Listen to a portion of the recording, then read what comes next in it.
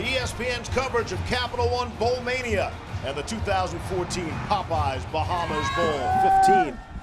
Here's Doughty again. Great pocket for him. End zone. Touchdown. Here's Doughty. Look at this pocket. Look at this protection. And throws underneath to Joel German. And German is in for the touchdown. Doughty looking into the end zone. He's got his man. Touchdown.